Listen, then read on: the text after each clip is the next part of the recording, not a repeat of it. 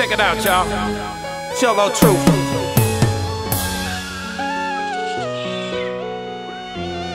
The Truck M Crew.